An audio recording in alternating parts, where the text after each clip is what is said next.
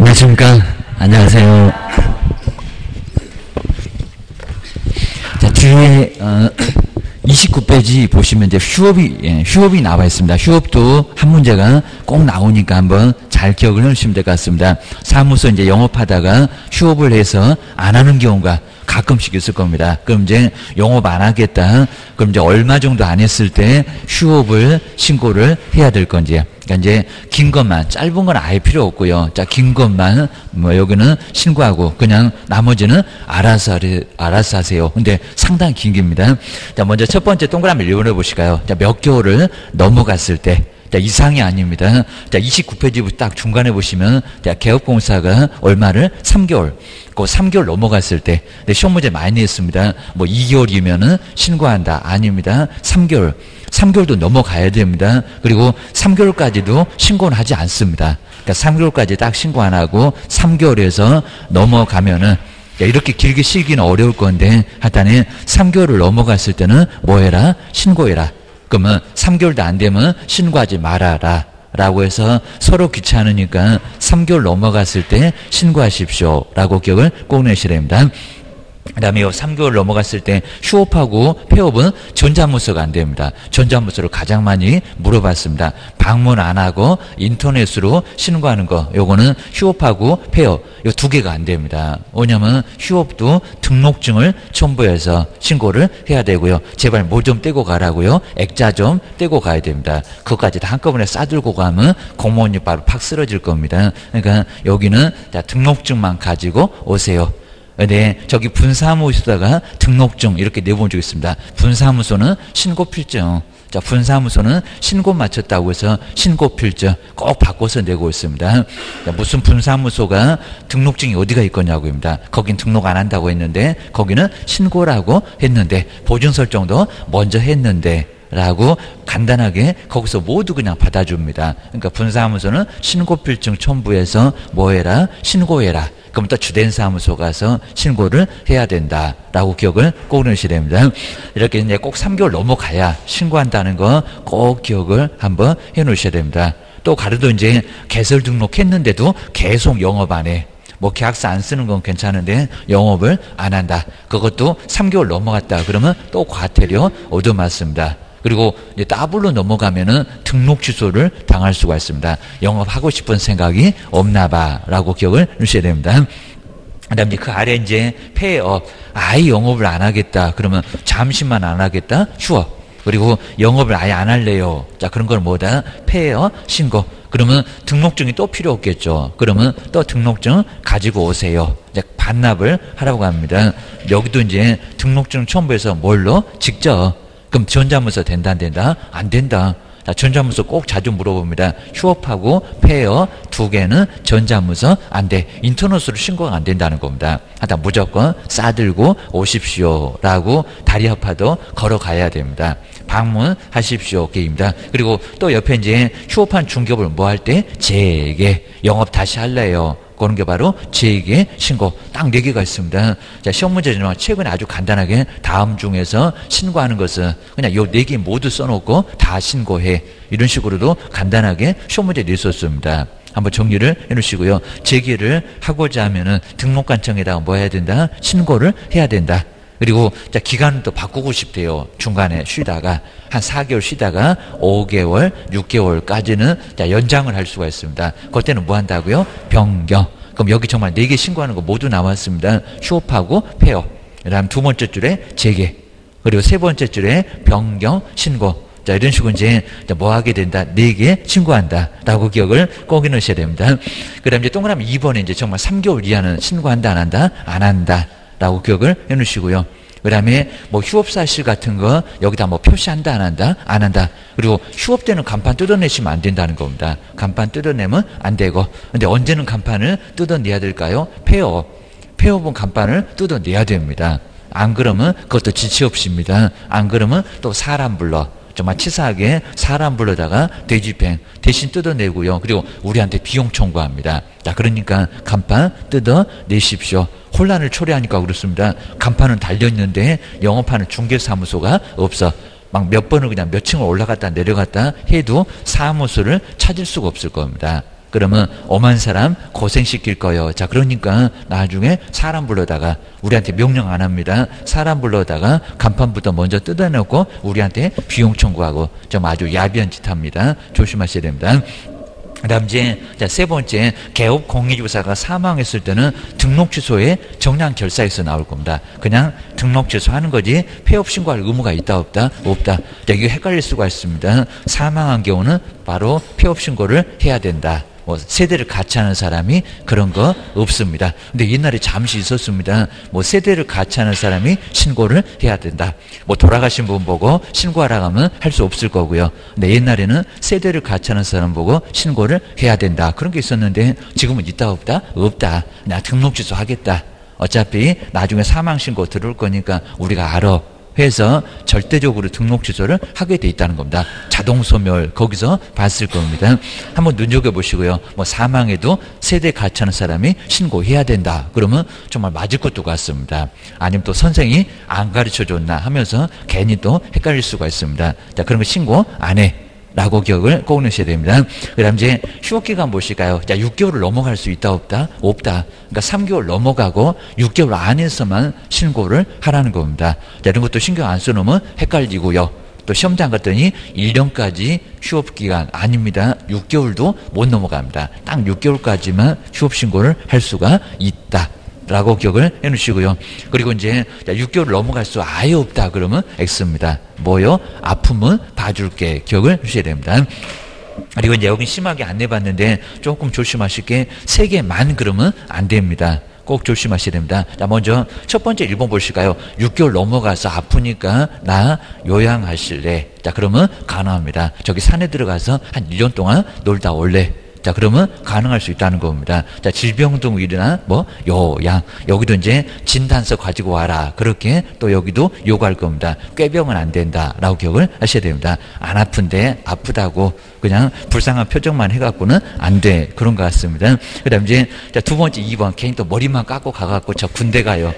그럼 이제 그건 안 봐줍니다. 자, 2번에 보시면 징집으로 인한 뭐, 요, 야, 이병. 이병 통지서가 있을 겁니다. 가져와. 그럴 겁니다. 좀 악용하는 사람도 분명히 있을 겁니다. 기하셔야 됩니다. 그 다음에, 자, 세 번째, 노인 대학은 안 된다고 했습니다. 무슨 대학? 그냥 취야. 저 대학 갈래요. 하다 뭐 2년제가 될거 4년제가 될거 대학 가고 싶으면 여기는 가져오세요. 여기도 이제 마찬가지로 이제 입증 서류 가지고 오라고 할 겁니다. 합격 통지서 한번 해서 입학한 거, 이런 것들 가지고 오라고 할 겁니다. 그리고 이제 네 번째는 그 밖에 꼭 쓰기 귀찮으면 그 밖에 그러니까 세 개만 그러면 안 된다는 겁니다. 몇 개요? 네 개, 백 개, 천 개, 만 개도 된다고 했습니다.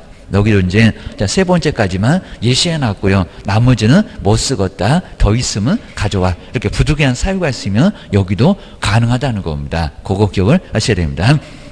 그다음 이제 세 번째로 보시면 이제 변경. 아까 6개월 안에서는 얼마든지 변경할 수 있는데 거기도 이제 다시 한번 나왔네요. 일단 질병 등이면 6개월은 뭐 할 수 있다? 넘어갈 수 있다. 하여튼 원래는 안 되는데 6개월을 넘을 수도 있다. 하여튼 원칙이 먼저 안 되는 게 원칙입니다. 원칙이 그냥 가능해 그러면 안 된다는 겁니다. 안 돼. 라고 맞고 악용하니까 맞고 세 가지 등 해서 아픔은 봐줄게 기억을 꼭 넣으셔야 됩니다. 이제 우리 시험 문제에서 저 변경 신고에다가 또 최근에도 냈었습니다. 거기도 여기 뭐 등록증을 첨부하여 아닙니다. 이미 등록증 갖다가 내놨습니다. 그러니까 기간만 바꾸는 거니까 등록증 필요 있다 없다 없다 뺏길 수 없는데 뭔 등록증을 첨부해서 변경 신고를 하냐고 그리고 요거 이제 기간만 연장하는 거니까요. 전자문서가 된다, 안 된다? 된다. 아까 제기하고 바로 변경 신고는 돼요. 그 두 개 되고 두 개 안 되고 전자문서 제일 많이 물어보니까 꼭 기억을 해 놓으셔야 됩니다.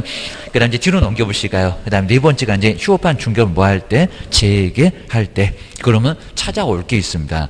벽에다가 걸어놓을 게또 하나 있어 보입니다. 뺏겼던 거 찾아다가 걸어.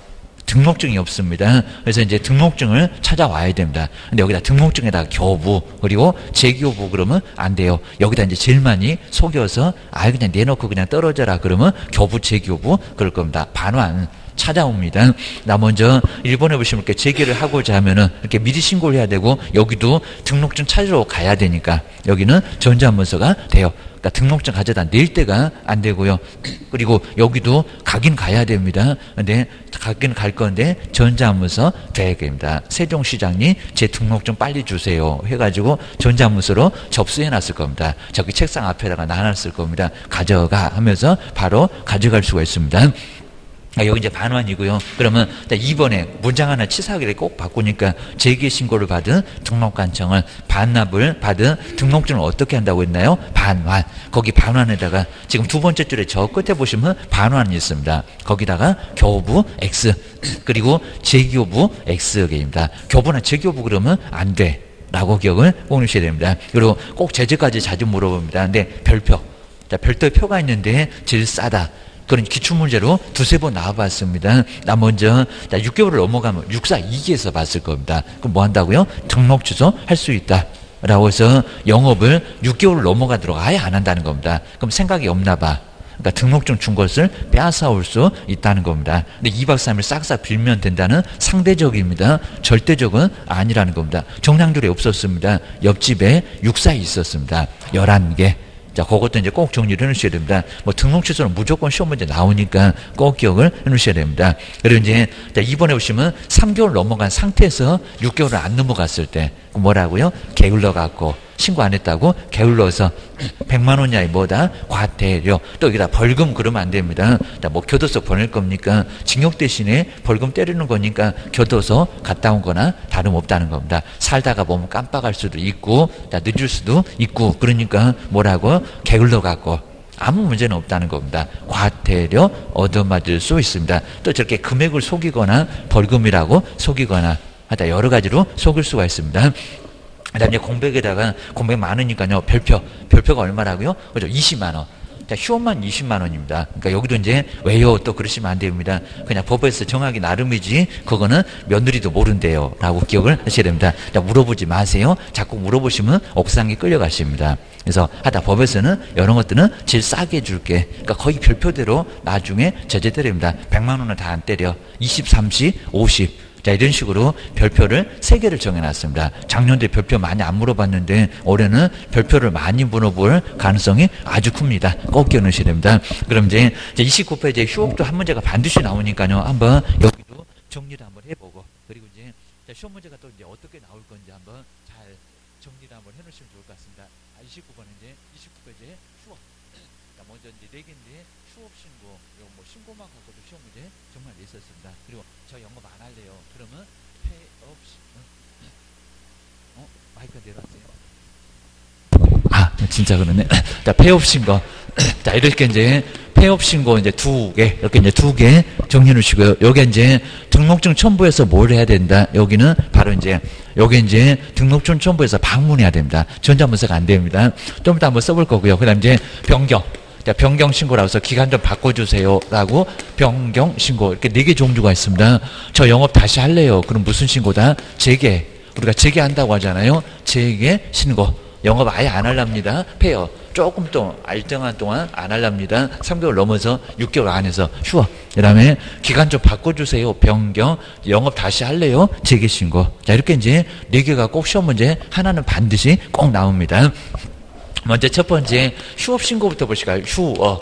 그러면 도대체 얼마를 쉬면은 휴업 신고인데 얼마를 쉬면은 여기는 신고를 해야 된대요. 라고 이제 먼저 첫 번째는 휴업할 수 있는 기간. 그러니까 아무 때나 신고하는 게 아니라 기간 좀 길었을 때 그렇게 오랫동안 여기도 휴업을 안 할 건데 몇 개월 넘어갔을 때 3월. 3월입니다. 3개월입니다. 3개월을 3월을 뭐 했을 때 초과 자, 이런 식으로 이제 초과요. 이것도 이상이 아닙니다. 이상이면 들어갑니다. 네, 3개월도 넘어가라는 겁니다. 그러니까 3개월까지는 신고 안 해.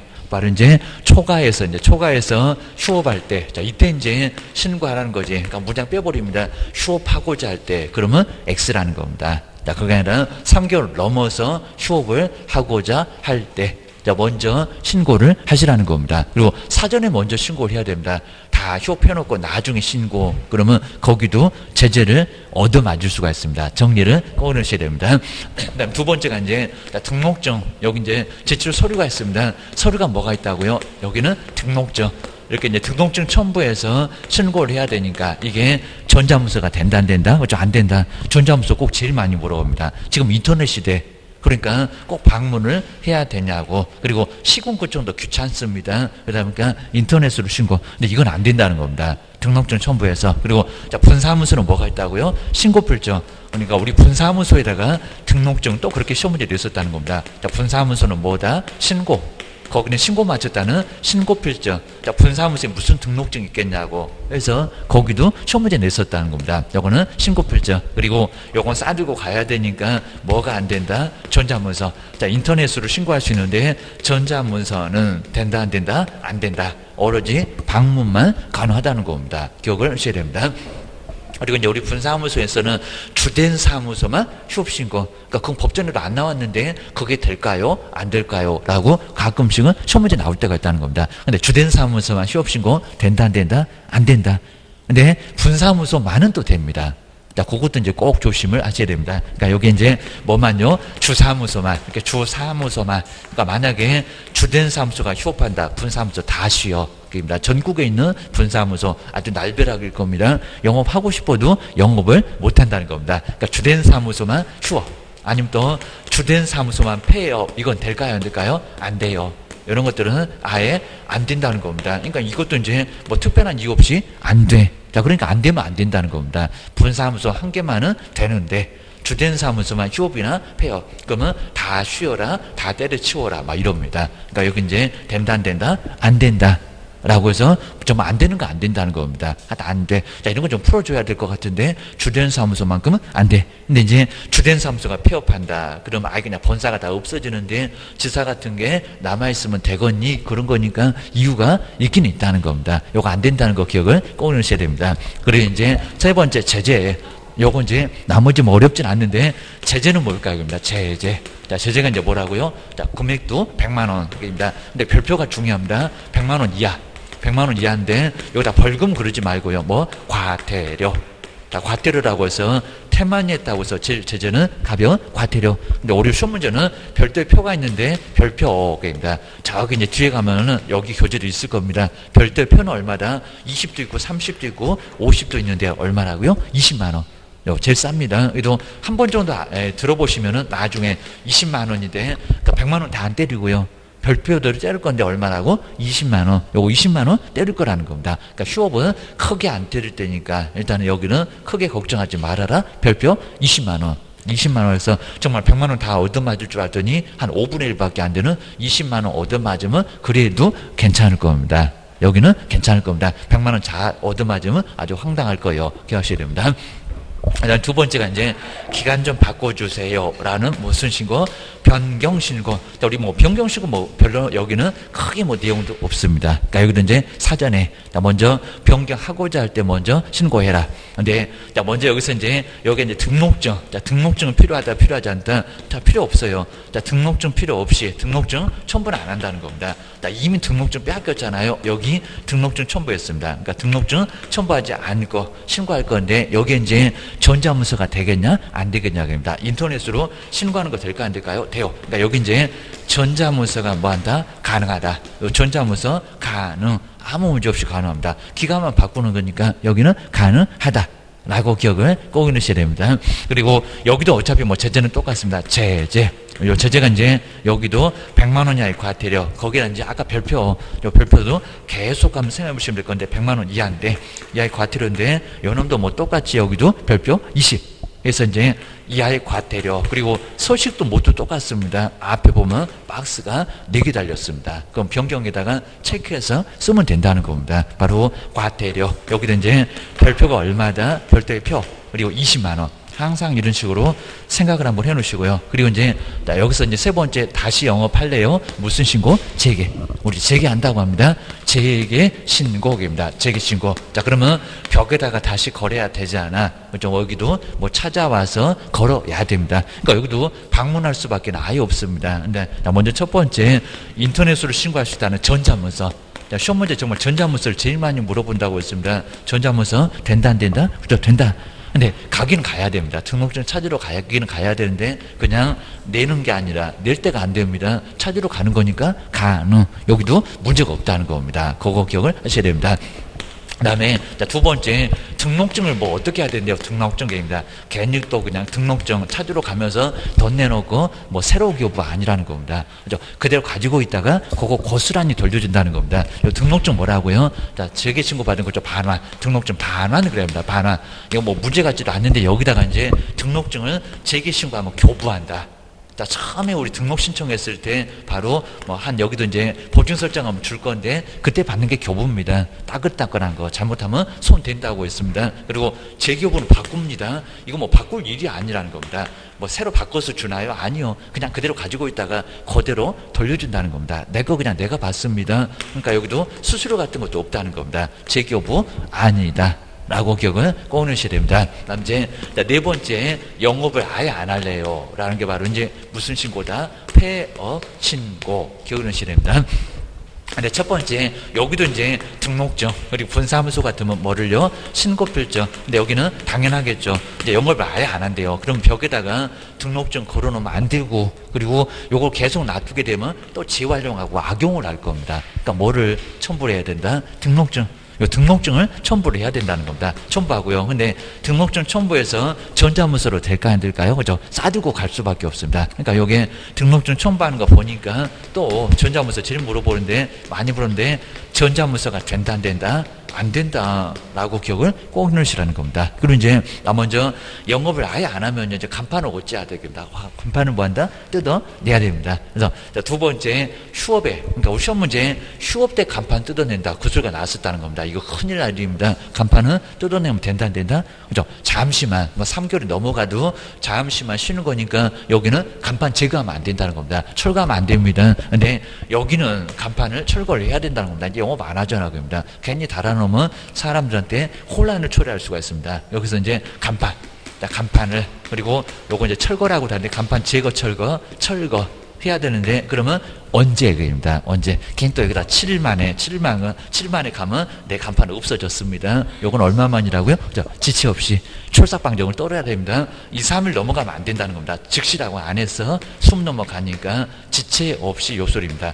뭐 여기다가 30일 내 갖고 너무 황당한 소리가 한번 나왔었습니다. 뭔 30일까지 봐줄 거요? 2, 3일도 안 봐주고만 기억을 하셔야 됩니다. 그리고 간판 철거를 하지 않으면 뭐 한다고요? 사람 불러. 이건 철거 명령도 없습니다.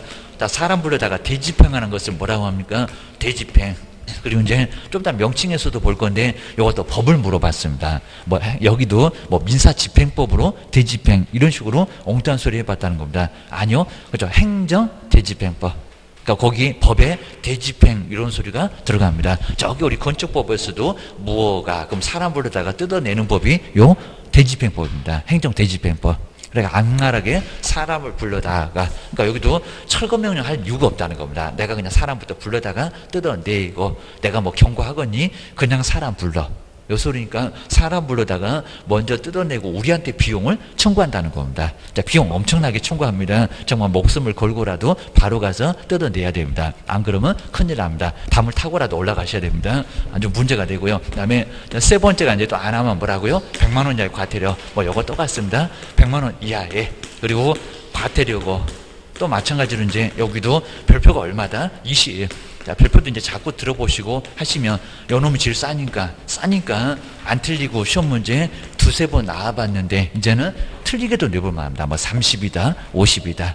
그런 거 아니다. 좀 이따 이제 명칭에서 우리 간판 같은 것은 별표가 50만 원짜리입니다. 그놈이 제일 크고 개입니다. 그리고 뭐 이전이나 그다음 이제 개시나 자, 이런 것들은 별표 30으로 좀 다릅니다. 이렇게 정리를 해 놓으시면 될 것 같습니다. 여기서는 한 문제가 매년 나오니까 기억내셔야 됩니다. 네 개. 자, 먼저 휴업하네요. 그리고 폐업하네요. 둘 다 전자문서는 안 되네요. 라고 기억을 하셔야 됩니다. 싸들고 가야 되니까. 그리고 기간 좀 바꿔주세요. 입니다 등록증은 이미 빼앗겼으니까 등록증 첨부해요. 그러면 말이 안 된다는 겁니다. 지금 사무소 벽에 자, 바로 등록증 붙었니? 갖다가 내놓고 계십니다. 그리고 등록증 돌려주세요. 벌려주세요. 반환, 반환입니다. 뭔 교부여? 재교부역입니다.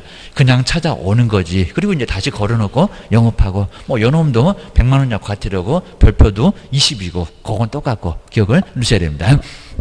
야, 그렇게 해서 이제 항상 우리 시험 문제 나오니까요. 정리를 꼭 해놓으시고요. 그 다음에, 자, 뒤쪽에 이제 5번. 자, 5번 이제 여기 이제 5장에도 자, 의무책임. 그리고 이제 여기가 이제 우리 시험 문제 뭐 금쟁이. 그리고 확인 설명, 전속 중개계약. 정말 여기는 뭐 시험 문제 안 나올 수 없을 정도로 매년. 그리고 금쟁이는 안 나올 수가 없습니다. 33조에 하지 말아라. 금쟁이. 거기도 정말 33조 3, 3하게 얻어맞는다고 했습니다. 3학년 3개. 그리고 1학년 4개. 라고 해서 이제, 자, 먼저 31페이지에 이제, 자, 먼저 위쪽에, 자, 금쟁의 의. 그냥 간단해 보시고요. 그러니까 거기 등 안에는 중개 보존이 됐건, 소속 공인주거사가 됐건, 임원이 되건, 사원이 되건, 모두 들어간다. 그죠? 모두 들어갑니다. 다 얻어맞으니까 조심하세요. 라고 기억을 주셔야 됩니다. 그리고 가끔씩은 뭐 무등록도 물어봤었는데, 자, 금쟁이를 해도 거래계약은 효력이 있다 없다? 있다. 거기다 무효 그러면 거래 안전을 완전히 깨뜨릴 수가 있다는 겁니다. 자, 심지어 무등록으로 중개판 사람이 계약을 체결을 해도 효력이 있다 없다? 있다. 자, 효력이 있습니다. 유효. 자, 거래 안전을 생각을 해야 된다는 겁니다. 민법 교수님 맨날 뭐 거래 안전 해갖고 자, 문제가 있어도 그냥 유효입니다. 그런 소리를 할 수밖에 없다는 겁니다. 정말 거래 안전을 생각을 해야지 무조건 진정한 계약 요것만 따질 수는 아예 없다는 겁니다. 법을 항상 비교합니다. 어떤 게 더 좋을까라고 기억을 꺼내셔야 됩니다. 그다음 이제 대신에 이제 손해배상 그리고 뭐 책임 물으면 되잖아. 자 그러니까 여기는 손해배상까지도 청구가 된다는 겁니다. 여기도 막 밥상 세 개입니다. 자, 형벌도 받을 수 있고 그리고 등록 주소도 받을 수 있고 돈도 깨지고 자, 이 정도로 크게 문제가 되니까요. 금쟁이 하면 된다 안 된다 안 된다. 정말 하면은 정말 안 된다는 겁니다. 문제가 아주 커집니다. 근데 우리는 중개보수 받으려니까 좀 억지 부리고 할 수밖에 없었다는 겁니다. 그러다가 큰 문제가 발생해. 그리고 이제 요 하지 말라는 것은 그냥 우리 시험용이라고 보통 얘기 많이 하는데 요걸 거꾸로 하면 다 돈 번다고 합니다. 정말 이제 요거 정말 이제 하지 말라는 금쟁이는 잘 한번 해볼 필요도 사실은 있다는 겁니다. 하여튼 시험용으로만 자 시험용으로만 요 일곱 개를 알고 계시고요. 하여튼 우리한테는 불행의 숫자가 아니라 일곱 개는 행운의 숫자입니다. 요걸 좀 아예 다 거꾸로 하게 되면 돈 벌어. 정말 돈 번다고 보실 수는 있습니다.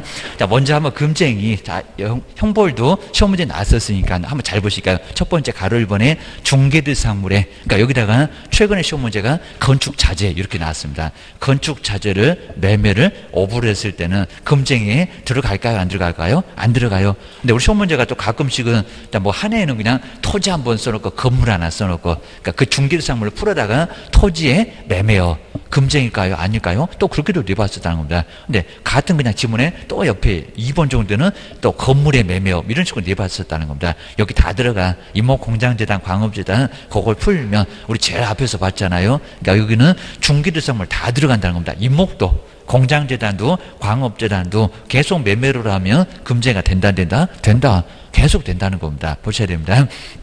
그러니까 가로 1번에 중개대상물 그 다섯 개를 풀어서 시험 문제에 내는 경우도 있었다는 겁니다. 딱 중개대상물이라고는 안 나올 수 있으니까 조심하세요. 라고 기억을 주셔야 됩니다. 여기는 중개대상물을 매매를 오브했을 때 토지건물 맨날 그냥 중개는 안 하고요. 자, 번호분 신경 안 쓰고 어디 삼촌보를 자꾸 빠집니다. 사고 팔고만 계속 한다는 겁니다. 자, 그러면 중개보수가 돈이 많이 남을까요? 매매업이 돈이 많이 남을까요? 당연히 매매업이 많이 남을 수밖에 아예 없다는 겁니다. 통으로 그러니까 막 몇천, 몇 억까지도 사고 팔고 잘하면은 돈을 크게 벌 수는 있다는 겁니다. 정말 이 금쟁이 반대로 하게 되면 정말 다 돈 봅니다. 정말 그거 생각해 보시면 알 수가 있습니다. 그러니까 하지 말라는 것은 우리가 돈을 크게 버니까 하지 말아라. 요 소리입니다. 너무 착하셔갖고 꼭 실무가셔갖고 자, 금쟁이 그대로 지키면 이제 돈 못 벌어 됩니다. 맨날 그냥 손가락 빨고 월세 낼 때 되면 머리 아프고 이러면 정말 골치 아프긴 합니다. 아, 밥 먹듯이만 안 하면 괜찮다는 겁니다. 정말 아주 좋은 물건 나왔습니다. 그러면 그거 사, 예, 샀다가 팔고 하는 건 괜찮다는 겁니다. 우리 여기도 문제 없습니다. 그리고 다른 기업만 통하게 되면 거기도 간접 거래니까 문제가 안 된다는 겁니다. 그리고 밥 먹듯이입니다. 밥 먹듯이 안 하면 괜찮다는 겁니다. 자, 그럼 이제 시험 문제가 매매 외에 그럼 교환이나 임대차업도 금쟁이에 들어가겠냐고 내가 건물 하나 가지고 있다는 겁니다. 그거 세를 막 넣는다고 계속 넣는다고 처벌할까요? 그럼 내 집은 다 비워놓으래? 이거 말이 안 되니까 여기는 문제가 된다 안 된다? 안 된다. 그건 아니라는 겁니다. 사고 파는 매매요.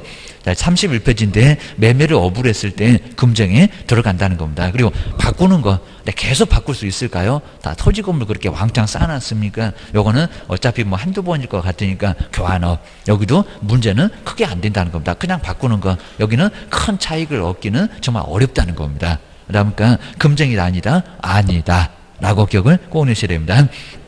동그라미 이번에 정말 최근에 나왔었던 저 건축 자재 등의 매매를 어부렸을 때 금쟁이다 아니다 아니다 뭐 건축 자재가 중개 대상으로니까 그러니까 건축물 그런 게 아니라 건축 자재 그렇게 나왔었다는 겁니다. 자, 이런 질문 나오게 되면 생전 안 본 지문이니까 정말 애매하고 헷갈리긴 할 겁니다. 뭐 벽단 몇 장하고 여기도 뭐 큰 돈이 되겠냐고 기억하셔야 됩니다. 대신에 토지 건물 그리고 임목 공장재단, 광업재단에 매매를 오불했을 때 그러면 금쟁이 들어간다는 겁니다. 그 중개사물 풀어서도 시험 문제를 냈었다. 라고 기억을 꼭 내셔야 됩니다. 그 다음 이제 가로 2번에 보시가요. 이제 나중에 실무 가보시면 사무소 옆에 무등록들이 엄청 많습니다. 남의 자격증 빌려 쓰는 사람, 하여튼 무등록하고 친구 먹어가고 교도소 가는 일이 생깁니다. 하여튼 절대로 무등록 인사하면 아주 인사도 받지 말아야 됩니다. 뭐 형님하고 하기 시작하면 이제 교도소 갈 일이 생깁니다. 한번 이제 가로 2번 보실까요? 그거 신고하면 포상금 받을 건데 기억을 하셔야 됩니다. 가로 2번 볼까요? 중개사무소에 개설 등록을 하지 않고 하지 않고니까 요걸 무등록 그럽니다. 자, 무등록으로 중개업을 하는 자를 뻔히 뭐 하면서 알면서 그러니까 모르면 괜찮다는 겁니다. 여기 알면 꼭 여기서 시험 문제 내옵니다. 어머 모른데도 금쟁이다. 맞았다 틀렸다? 틀렸다. 자, 모르는 경우는 문제가 안 된다는 겁니다. 자, 모르는 경우도 금쟁이다. 차라리 죽으라고 해라 합니다. 자 그런 소리는 안 하겠다는 겁니다. 하다 우리 법은 절대로 죽으라는 소리는 절대 안 합니다. 자, 살려놔야 세금을 받지. 이런 것 같습니다. 보셔야 됩니다.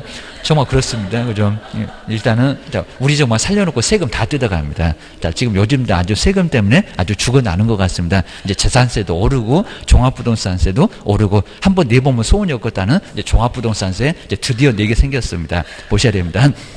막 세율도 낮아지고 난리 불술 쳐갖고 아주 머리깨나 아프게 생겼습니다. 게임다. 좀 이제 손 풀어드립니다. 종합부동산세 한번 내보세요. 일단 잘 사냐 못 사냐 종합부동산세 내냐 안 내냐 그거 갖고 따집니다. 정말 보셔야 됩니다. 어, 알면서도 그를 통해서 중개를 의뢰받거나 그리고 자, 그 얘기 옆에 볼까요? 자, 의뢰만 받으면, 그러니까 시험 문제가 의뢰 받아 거래하면 아닙니다. 뭔만 받아도요, 의뢰만 받으면 의뢰를 받거나, 그리고 옆에 이제 자기의 명의를 뭐 한다고요? 정말 주고받고 친한 모습이 나타나잖아요. 명의를 이용하게 했을 때입니다. 네 명이 써봐라. 고스입니다. 준대니까 낼름 받고, 그 다음에 네 명이 써봐라. 정말 주고받고 사이 엄청 좋잖아요. 그러다가 교도소가 기억을 하셔야 됩니다. 요거 1학년 일반입니다. 그래서 이제 매매 알면 이런 식으로 동그라미 해봤습니다. 그 다음에 초가 나옵니다. 자, 세 번째 볼까요? 주지도 않을 건데 무슨 초가 나옵니다. 하여튼 절대 받지 말어. 그입니다. 자, 세 번째 볼까요? 사례, 그리고 증여. 그러니까 요 사례 증여가 내가 달라고 얘기 안 했다는 겁니다. 근데 80만원 외에 사례비를 좀 가져왔다는 겁니다. 20만원. 그거 받으면 교도소 갑니다. 자, 직접 받으면 안 되니까 그리고 선생이 대신 받으면 되니까 제가 가겠습니다. 보셔야 됩니다. 바로 사례나 그리고 증여나 그 밖에 어떤 방법이 될 건 간에 여기도 어떤 방법이 될 건 그 소리입니다. 그리고 자 옆에 보실까요? 어떤 명목이라도 중개 보수나 그리고 실비를 초과하여 금품을 받았을 때 여기는 문제가 된다는 겁니다. 아, 어떤 명목이 될 건 간에 중개 보수나 실비를 뭐 하면 안 된다? 초과. 그 초과가 중요한 문장입니다. 초과해서 받으면 금쟁이 라고 볼 수 있다는 겁니다. 근데 여기는 뭐 부도처리 났다네 뭐 이런 식으로 시험 문제 나올 수도 있을 겁니다. 자, 먼저 초과해서 받으려고 100만 원짜리 500짜리 바로 자, 예, 수표를 하나 받았습니다. 그 다음날 가보니까 부도처리 됐대요. 그랬을 때도 금쟁이다 아니다. 금쟁이다. 자, 정말 황당할 건데 100만 원도 못 받았습니다. 부도 처리 돼갖고. 그런데도 뭐 한다? 금쟁이 들어간다는 겁니다. 주의하셔야 됩니다. 그거 쓰레기통에 버린 게 아니라 저기 은행 직원이 저 분쇄기에다가 넣어버렸을 겁니다. 근데도 뭐 한다고요? 금쟁이 하여튼 일단 받은 적은 있잖아요. 자, 금쟁에 해당할 수 있다는 겁니다. 좀 그건 우리한테 너무 억울해. 그리고 뭐 돌려줬을 때 돌려줘도 뭐 한다? 금쟁이다. 그건 뭐 여기는 금쟁에 해당될 겁니다. 근데 돌려주면 괜찮다. 그러면 일단 받아보고 두들겨 팰 것 같으면 얼른 돌려주고. 자, 이러니까 그건 악용하니까 그건 금쟁에 해당된다는 거 알겠는데 부도 처리는 우리한테 정말 너무 억울하다는 겁니다. 내가 받을 100만 원도 못 받고 아예 한 푼도 못 받았다는 겁니다. 지금 쏜다고 저기 음식점에 애들 다 모였습니다. 큰일 납니다. 자, 그러면 어디 도망가지도 못할 건데 황당한 일이 발생할 건데도 금지 행위 하다 무조건 받지 말아. 기억을 주셔야 됩니다. 나 이제 뒤로 넘겨보실까요? 자, 그 다음 이제, 뭐, 나머지, 요 동그라미 2번에 우리한테 정말 너무 가오가 저 부도처리. 자, 저런 거 꼭 내볼 만한데, 많이는 안 내봤습니다. 이런 경우도, 여기도 금쟁이다. 이거 금쟁이 아니다. 그러면 판사님 그렇게 이뻐하겠니? 기억을 하셔야 됩니다. 아주 우리 더럽게 미워한다고 했습니다. 그래서 이제 문제가 되고요. 여기 나오죠. 한도를 초과하는 액면에 당자 수표를 받았는데, 그러니까 200 받을 거 500을 받았다는 겁니다. 아주 좋다고 했을 건데, 그입니다. 준 사람은, 자, 골탕 먹어라. 그랬을 건데, 그입니다. 근데 사후에 보니까 부도 처리가 돼서 찾으러 가니까 부도 났는데요. 그랬다는 겁니다. 부도 처리가 돼서 그리고 자 그래도 뭐다 금쟁이 그리고 돌려줬을 때 그것도 뭐다 금쟁이다. 요게 판례로 나란히 나와 있다는 겁니다. 그런 경우가 있었으니까 판례로 나온다는 겁니다. 그거 기억을 하셔야 됩니다.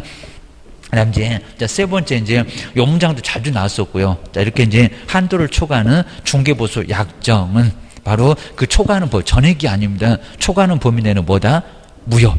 요거는 무효가 된다는 겁니다.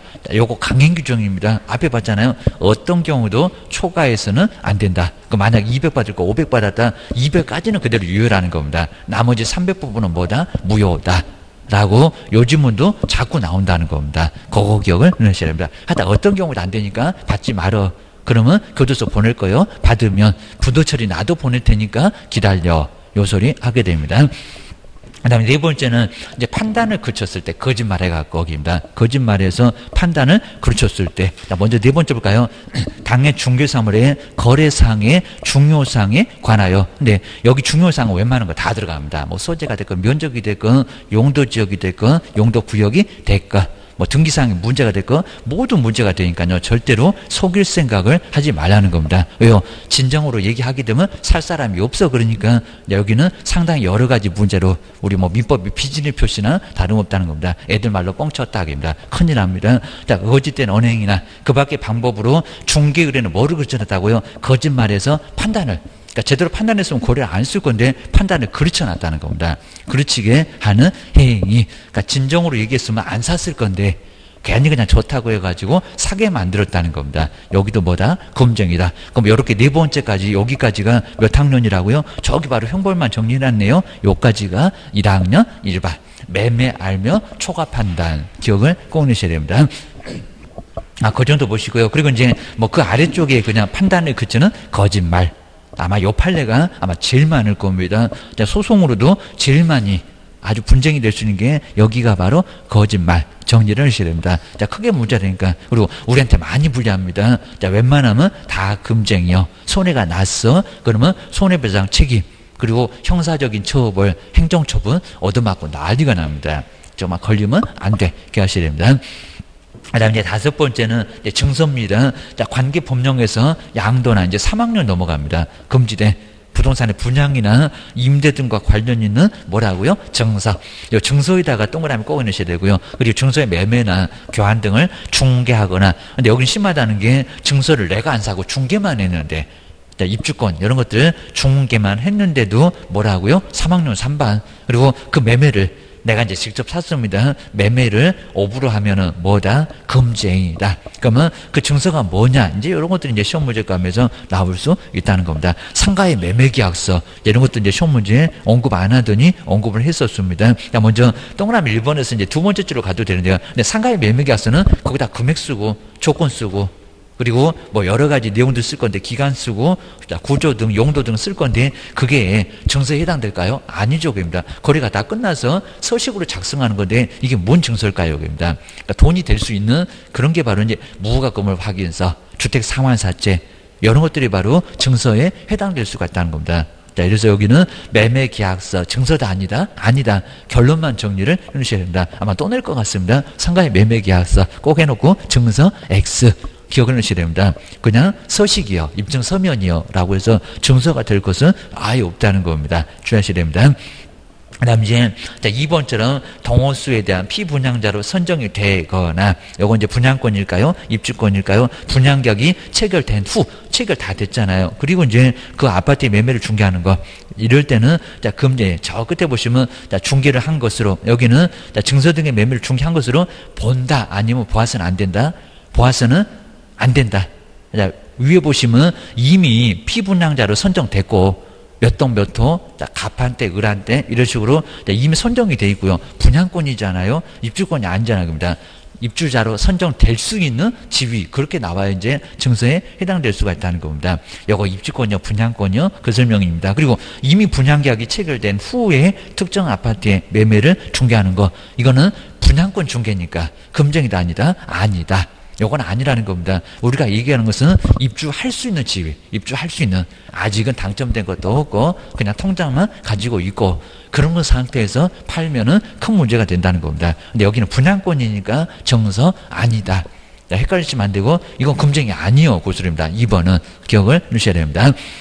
그 다음에 여섯 번째, 제일 시험 문제 많이 나옵니다. 누구든지 봤을 때 중요해 그럴 겁니다. 자, 중개 의뢰인과 무슨 거래? 직접 거래. 그러니까 판다고 하니까 내가 살게. 그리고 자 지금 이제 산다고 하니까 내 것 사봐 이러면 바로 금쟁에 해당될 수 있다는 겁니다. 본인 거래니까 유리하게 하겠잖아요. 살 때는 싸게, 팔 때는 비싸게. 안 그래도 적정한 가격에 팔아도 문제가 된다는 겁니다. 그러니까 여기는 차익이 얼마 남았냐 이런 거 절대 안 물어봅니다. 무조건 직접 거래나 금쟁이는 오히려 우리가 손해를 봤는데도 금쟁이 들어갑니다. 절대 안 된다는 겁니다. 예외 없습니다. 그리고 옆에 보실까요? 자, 일방대리는 괜찮은데 쌍방을 다 뭐 하는 거 대리를 하는 거 혼자 북치고 장구 찍고 여기는 모두 다 했을 때 매도인에게도 대리권, 매수인에게도 대리권 수여받아서 매매계약을 혼자서 체결하게 되면 뭐가 된다고요? 금지 행위 큰 문제가 된다는 겁니다. 3학년 3반 여기 손에 입힐 가능성이 있다고 해서 3학년 3반 가능성만 갖고도 3년이나 징역을 갈 수가 있다는 겁니다. 이 법상 최고형 기억을 꺼내셔야 됩니다.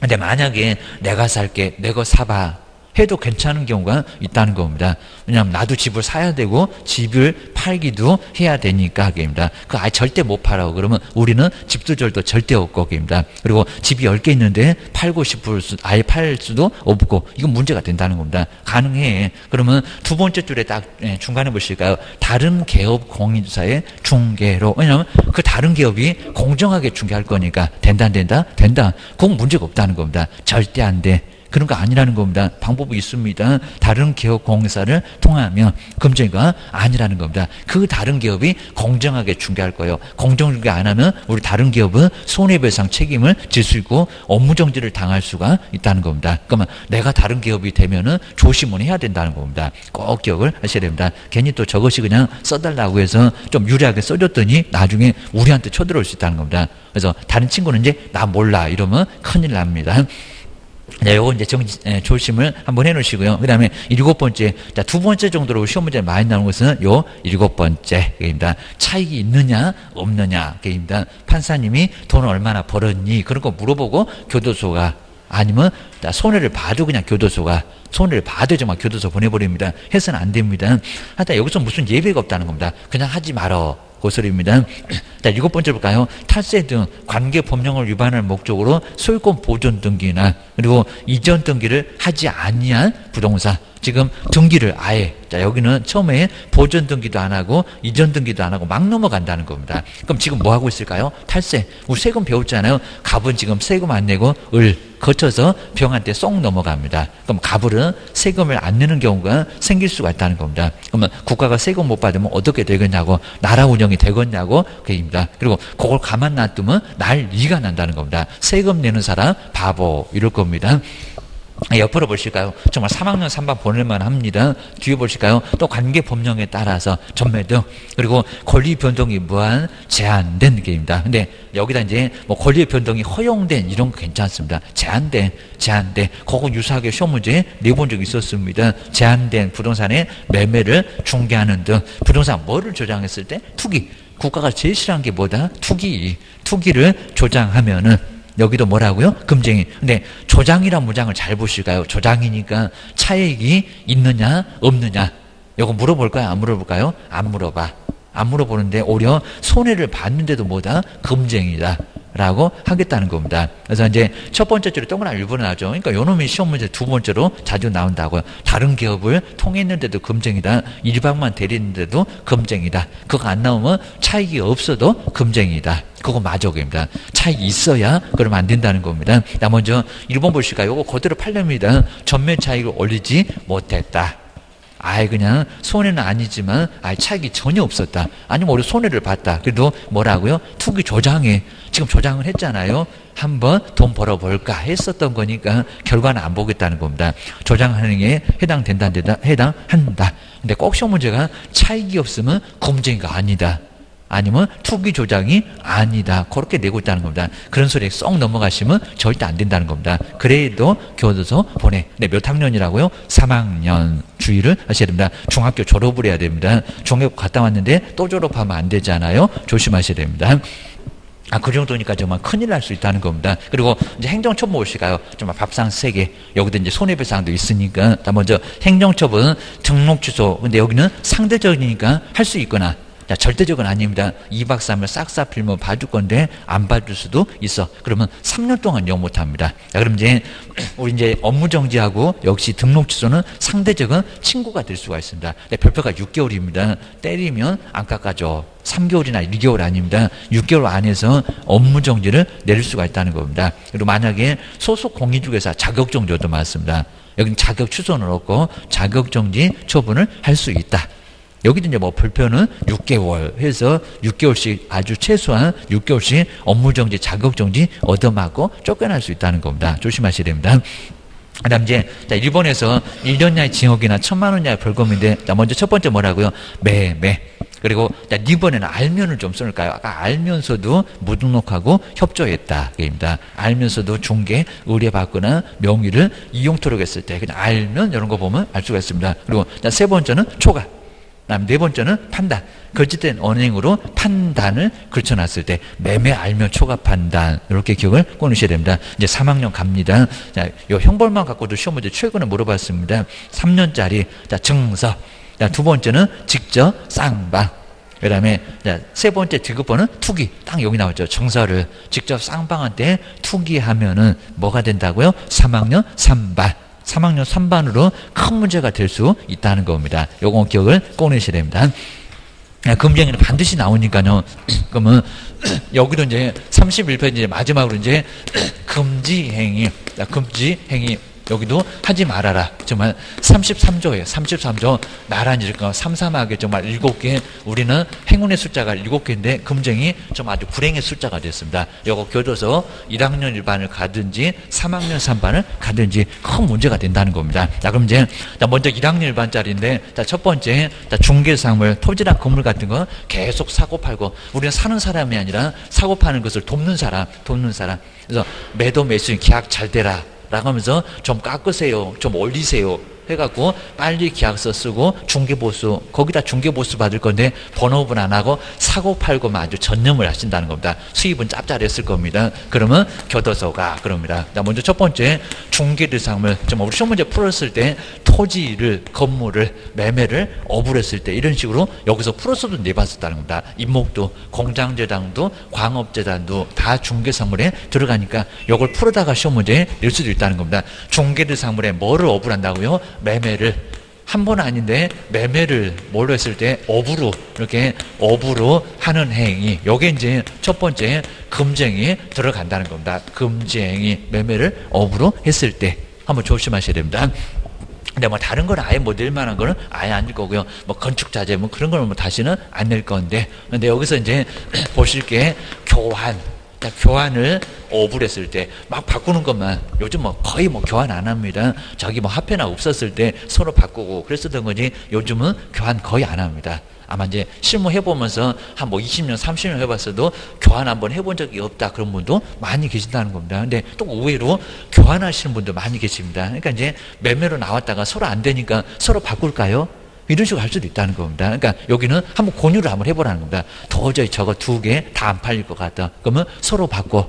해가지고 바꾸고 그리고 차익이 있으면 차익을 더 주고 해서 그러면 이제 두 건 다 해서 보수를 받을 수가 있다는 겁니다. 처리가 안 될 건데 처리해. 이러니까 한번 아, 되건 안 되건 우리 손해 볼 건 없으니까 한번 바꿔 보자고 이런 것도 괜찮을 수가 있다는 겁니다. 땅 땅도 괜찮고 땅 건물도 괜찮고 오게입니다. 그래서 이런 것들 교환을 어부라는 거 그리고 이제 세를 넣는 겁니다. 임대업. 임대업 나 건물 하나 가지고 있다는 겁니다. 임대를 업으로 했을 때 요건 금쟁이다 아니다 아니다. 근데 조심하시게 중개 의뢰인과 직접 거래 한 번 교환이라도 아니면 세를 넣는 것을 막 중개울인 찾아오니까 내 건물 사러 이러면 큰일 난다는 겁니다. 이건 단 한 번이라도 아까 보셨던 직접 거래 딱 걸립니다. 3학년 3반에. 그러니까 이거는 다른 사람하고 하라는 겁니다. 다른 사람하고. 그러면 괜찮아. 조심하셔야 됩니다. 요건 이제 금쟁이다 아니다 아니다 근데 시험장 가보면 교환업도 금쟁이다 여기 규정 있냐고 매매를 업을 했을 때 매매만 매매한다고 했지 다른 것은 매매 안 한다는 겁니다 금쟁이다 아니다 아니다 라고 자꾸 속을 수가 있다는 겁니다. 자꾸 속여서 시험 문제 내보려고 하니까 요거 뭐 시험 문제 하나 나온다고 다 알고 그리고 대비하니까 어렵게 낼 수밖에 없다는 겁니다. 기억을 해주셔야 됩니다. 다음에 자 두 번째 볼까요? 시중에 보면 좀 무등록 저 포상금 50만 원 막 굴러다니는데 시험 끝나면 그 무등록을 다 신고 좀 하시라고 했습니다. 제발 좀 사무소 좀 정리 좀 해봐야 된다는 겁니다. 그럼 이제 그 무등록들은 다 학원에 올 거니까 원장님도 엄청 좋아하실 겁니다. 자 먼저 첫 번째 무등록을 아마 포상금 원장님이 그냥 더 크게 쏠지도 모릅니다. 자, 먼저 무등록으로 게입니다. 중개사무소에 개설 등록을 하지 않고 중개하는 사람.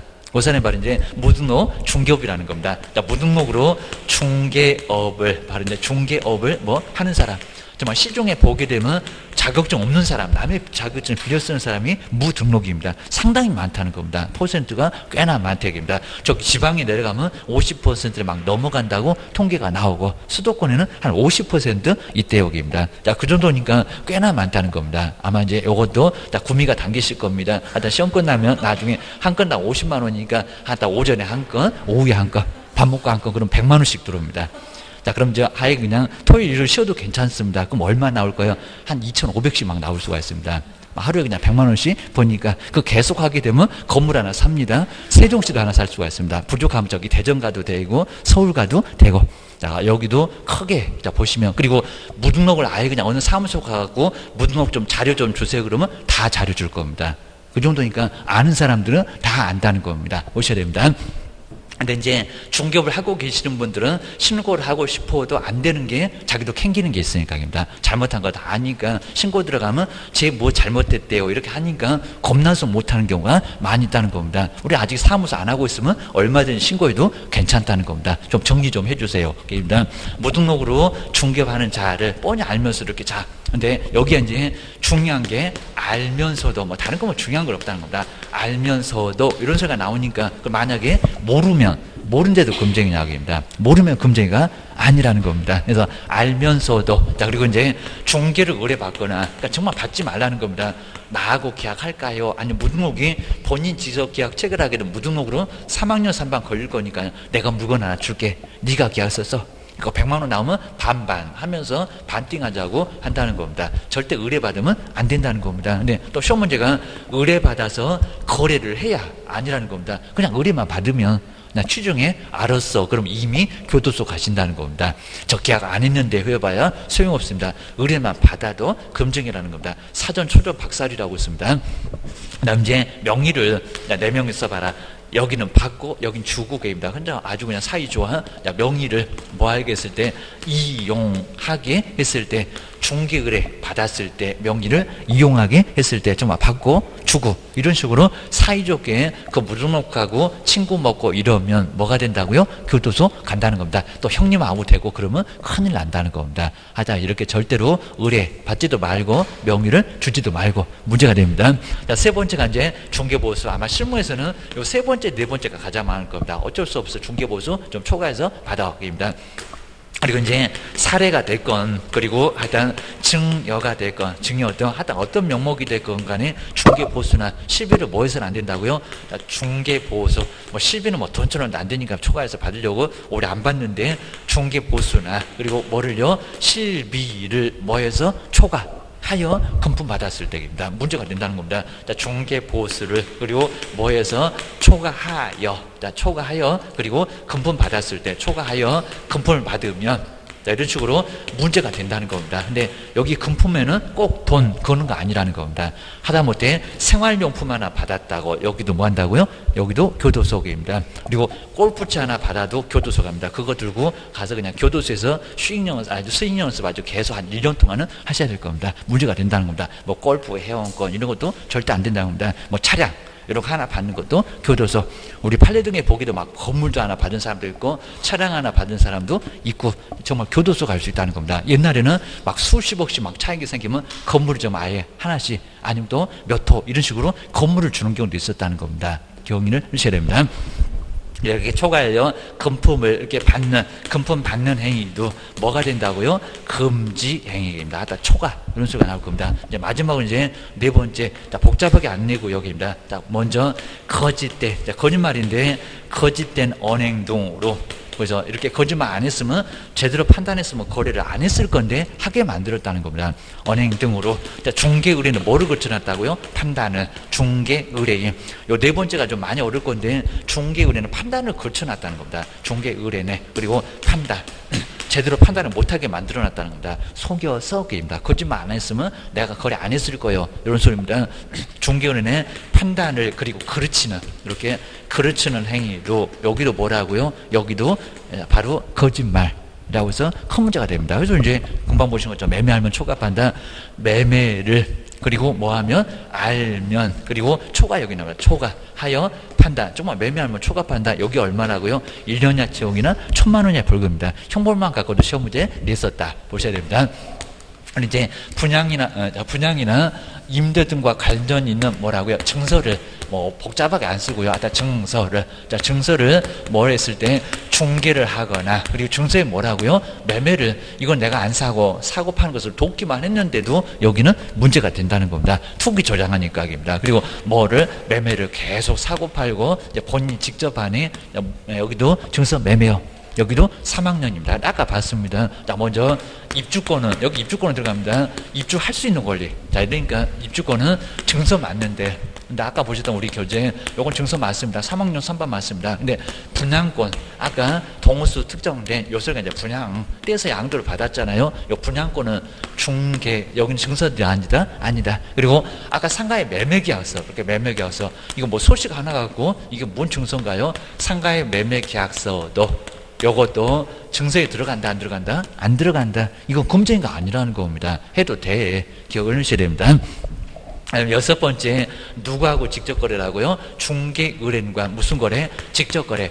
내가 살게 그리고 내가 사봐 이러면 문제가 된다는 겁니다. 그리고 쌍방을 다 몽땅 뭐 한다고요? 시험 문제 많이 낸다고 했습니다. 쌍방 대리 뭐 여기도 이제 뭐 다른 건 그렇게 크게 어려운 게 없는데 그리고 실무에서도 이런 게 정말 많다는 겁니다. 판다고 하니까 내가 살게 산다고 하니까 내가 사봐 이러면 문제가 된다는 겁니다. 근데 조심하실 게 직접은 안 되겠지만 옆집을 통해서 그리고 한 사람만 대리 문제가 되겠냐고입니다. 나 먼저 다른 요거 검증이 들어갑니다. 근데 다른 개업 공인중개사를 통해서 그 다른 기업이 어떻게 할 거입니다.